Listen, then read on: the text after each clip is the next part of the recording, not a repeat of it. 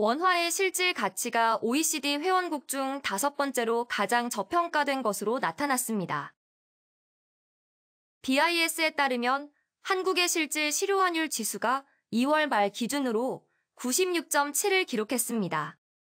실질 실효환율은 한 나라의 화폐가 상대국 화폐보다 실질적으로 어느 정도의 구매력을 가졌는지를 나타내는 환율인데 수치가 100을 넘으면 기준 연도 대비 고평가, 100보다 낮으면 저평가로 간주합니다.